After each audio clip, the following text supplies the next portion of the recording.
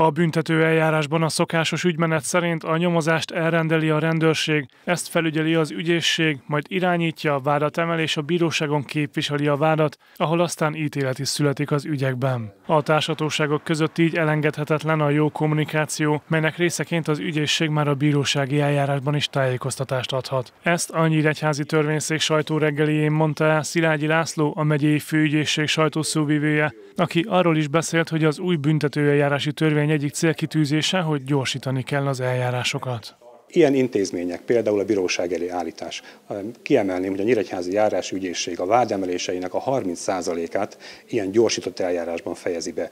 Tehát a gyanúsítotti kihallgatást tól számított pár héten belül már megvan az ítélet. Természetesen ez a kisebb súlyú bűncselekményekre jellemző általában, ahol a büntetés sem végrehajtandó börtönbüntetés, de lehetőség van arra, hogy akár egy szexuális erőszak miatti eljárást is így fejezzenek be, akár több éves börtönbüntetéssel. Természetesen egyéb lehetőség például az egyességkötés, az kiemelt nagy gazdasági bűncselekményekben került erre sor az ügyészség gyakorlatában. Itt arról van szó, hogy a gyanúsított beismerő vallomást tesz a nyomozás során, és lemond a tárgyaláshoz való jogáról, az ügyészség pedig feltételül szabja, hogy térítse meg a költségvetésnek okozott vagyoni hátrányt, tipikusan az elcsalt adót utólag fizesse be. Ilyenkor egy enyhébb büntetése számíthat, ugyanakkor az eljárás is nagyon gyorsan véget érhet, akár egy tárgyaláson, egy előkészítő ülésen.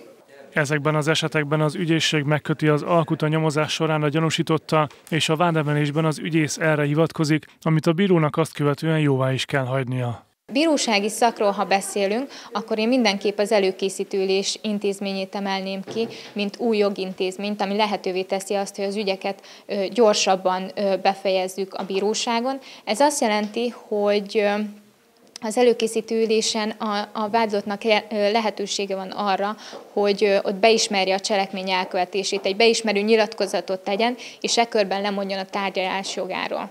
Ha tesz egy ilyen nyilatkozatot, akkor a bíróságnak nem kell lefolytatni a bizonyítási eljárást, hanem megállapítja azt, hogy ami a vádiratban szerepel, illetve amit a vád állít, illetve az ügyészség állít, az úgy történt, és az úgy igaz. Resándalma hozzátette, ebben az esetben nem kell tanukat meghallgatni, szakértőket bevonni, ami így gyorsítja az eljárást, valamint lehetőséget ad a vádlottaknak arra is, hogy egy mértékes büntetési indítványt elfogadjanak, amelyet az ügyészség tehet a büntetés kiszabására.